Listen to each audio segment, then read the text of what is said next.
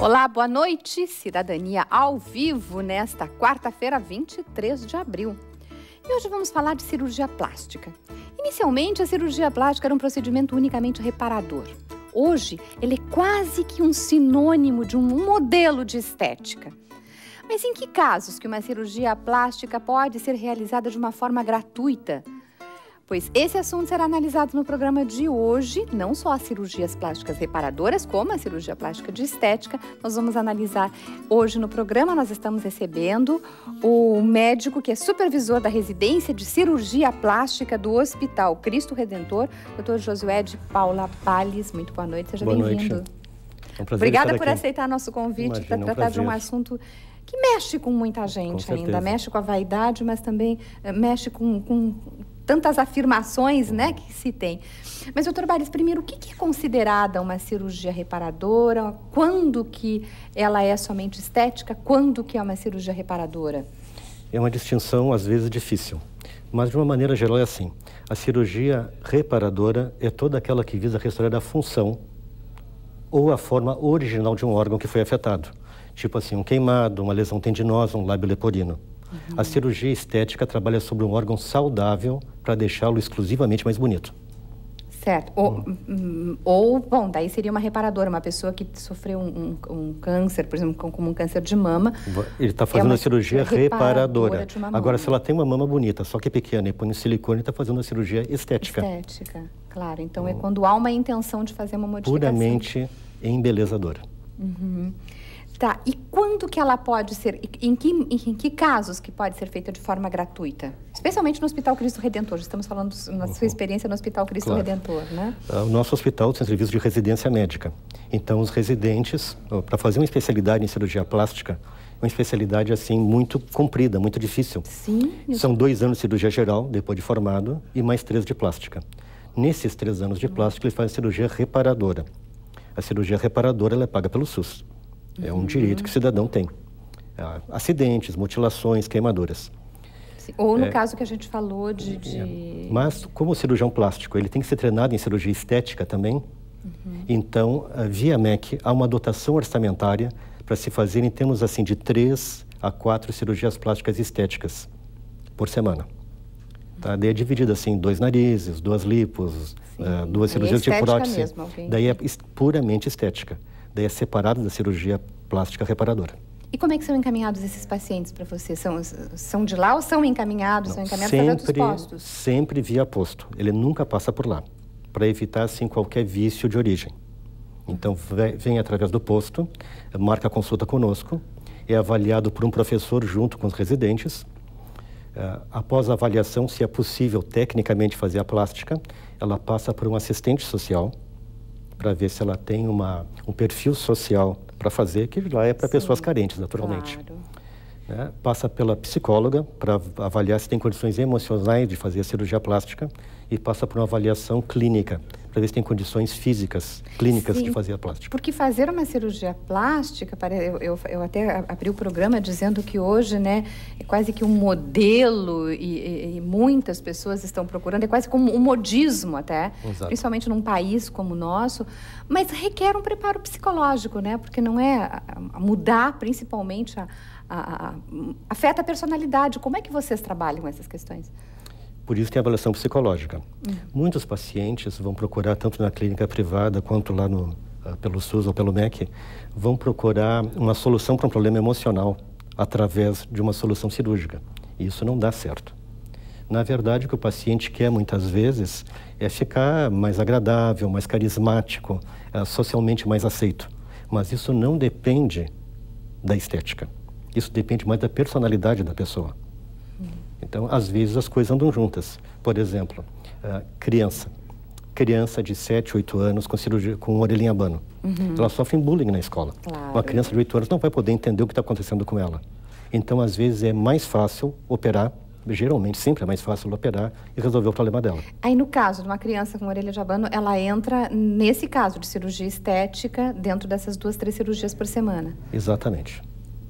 Embora eh, muitas vezes conforme a, a situação. Sim. Se há sim uma avaliação que realmente ela está muito atrapalhada por causa disso, não quer mais ir ao colégio, de repente ela pode passar para o perfil da cirurgia plástica reparadora. Reparador. E é aí que eu digo que fica uma zona gris, uma zona de ninguém. Sim, mas Onde tem é uma avaliação multi... Multidisciplinar Disciplinar. para isso. Para avaliar, especialmente porque mexe né, com, com É. criança, então nem se fala. Outro caso específico de criança e que também tem essa, essa intervenção, que ela é intencionada, é a questão do lábio leporino, ou é outro caso? O lábio leporino é puramente reparador. Essa aí Já é, desde é que nasce, já Exatamente. Já tem toda uma procura, todo um empenho cirúrgico em resolver esse problema. Então, a diferença entre um e outro, entre o lábio leporino e a orelha de abano, é que o lábio, o, o lábio leporino é puramente reparador, sempre. Puramente reparador. Assim em como média, quantas cirurgias se requerem? para um lábio leporino, É. vai depender da dificuldade do caso. Tá? Mas, em média, assim, ó, dificilmente menos que três ou quatro cirurgias. Às vezes é bem mais que isso, conforme a complexidade. E depende também da maturidade, da, da criança crescer também um pouco, né? Também que com o tempo pode modificar alguma coisa. É, mas tu falaste muito, muito bem, eu achei muito interessante sobre a parte emocional da cirurgia plástica. Uhum. Tá? Realmente, eh, nós vivemos numa época que privilegia talvez em excesso a estética. As pessoas, principalmente as mulheres, são vendidas como mercadoria praticamente. Se Muito não for cada vez bonita- mais cedo, né, doutor? Exatamente. Se não for bonita, não tem valor. E Isso, no meu entender, pelo menos é um erro. Então, a- e outra coisa que existe é a parte da moda.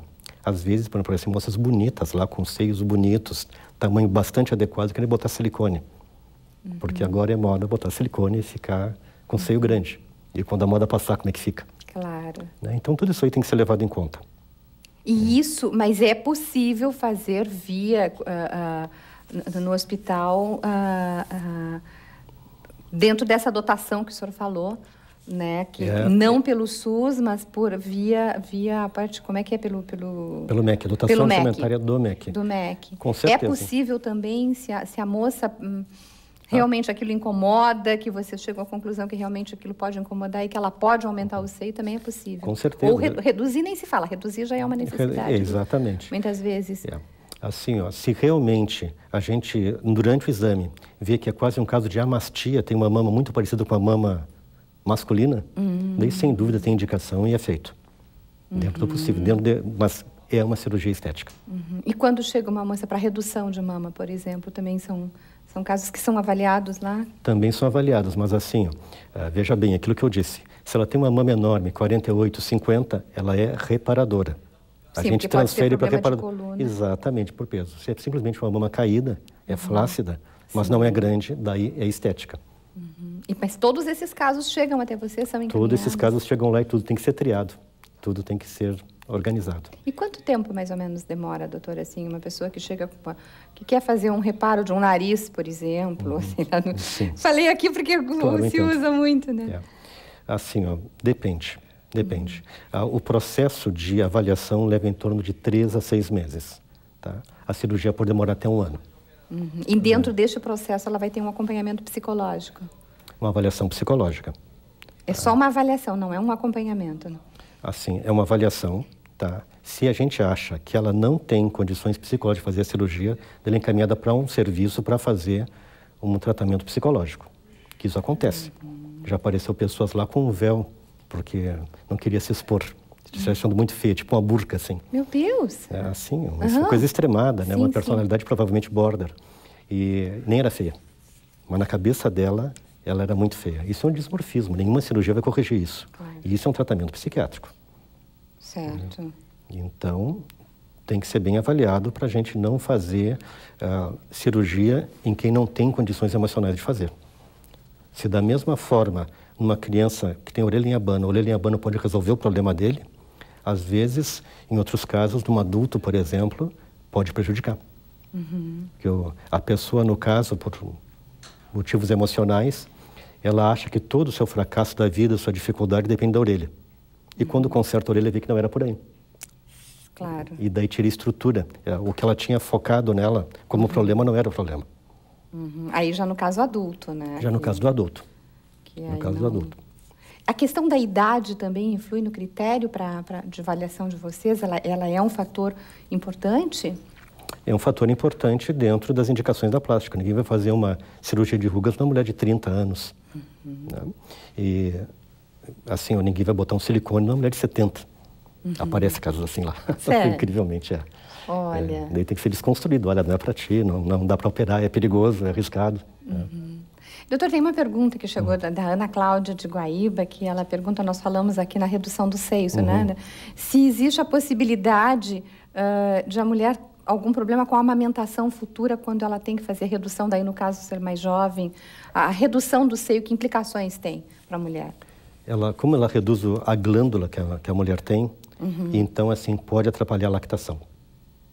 Não é Muito é, pouco? De... É médio, é uhum. é médio. Assim, a gente não pode ter uma certeza absoluta do que vai acontecer. Já vi mulher que fez grandes reduções, amamentou perfeitamente, e já vi mulher que nem foi operada e não conseguiu aumentar. Claro. Então a coisa não anda junto. Sim, e tem outras que botam silicone, mas aumenta tranquilamente. Tranquilamente. Né? É. Também, depois... Não, não dá, não dá para garantir. Tu, tu, cada caso é um caso. Cada o caso, caso é um de, caso. de verificar Exatamente. Né, de, de, perto é. e também o quanto que isso influi. É, exatamente. Porque às vezes, se a cirurgia, por exemplo, é só para levantar a mama, nem é mexido muito em glândula. E não vai atrapalhar a amamentação. Uhum. Tá? Agora, se a mama é muito grande, tem que reduzir. E aí, fatalmente, vai ter uma lesão glandular, pela, pela tirada da glândula, que vai atrapalhar. Aí o que, que é aconselhável? É, é, primeiro que tenha os filhos, que amamente, e depois venha fazer? Poderia-se? Em muitos casos pode esperar. Muitos casos pode esperar. Agora, sim, se está assim, atrapalhando muito a vida uhum. da mulher, tá? às vezes atrapalha até a, as relações conjugais dela, uhum. daí pode ser feito antes. Uhum. Mas o, o, Cristo Redentor é um, é um pronto-socorro da Zona Norte, uhum. né? E a gente está falando aqui de cirurgia plástica, mas na plástica reparadora vocês têm um leque muito grande, uhum. né? E, e como, como, é, como é que isso acontece? Como, como é que é a rotina um pouco? O que, que se pode... Uhum. Né? Porque o senhor falou assim que se atende acidentes, mas também tem acidentes caseiros com crianças. O que, que se faz? O que é possível que faz, fazer hoje? Como tu disseste lá, é um pronto-socorro. Tá? Fundamentalmente é a origem dele, é a genética dele, é a tradição. Mas a gente interna. Por exemplo, o HPS eh, não dá esse segmento que a gente dá. Então, o paciente chegou lá, ferido, ele vai ter todo um segmento. É um pronto-socorro, mas também hospital. Também hospital. Hum. Tá? Como desenvolveu muito, foi colocada uma residência de cirurgia plástica lá. Essa residência de cirurgia plástica exige também que alguns procedimentos que não sejam emergência sejam feitos. O, o residente tem que aprender operar cirurgia plástica estética e cirurgia plástica que não é de emergência, mas que, tipo, redução mamária. Uhum. Tá? Não, não, redução mamária grande não é uma estética, porque a mão é grande mesmo. E também não é uma emergência. Claro. Mas ele tem que fazer. Então, assim, nós temos espaço e tecnologia para fazer isso, para poder ter residência. Como é o caso também da Traumato, que não atende só urgência. Tá? Da neurocirurgia, que também tem lá, também não atende só urgência. Sim, é bem, tá? É bem amplo. Yeah. Vou lhe pedir licença um minuto, agora é. é hora da gente fazer um intervalo, de acompanhar um pouco a programação da TVE e a gente volta com o nosso assunto logo depois.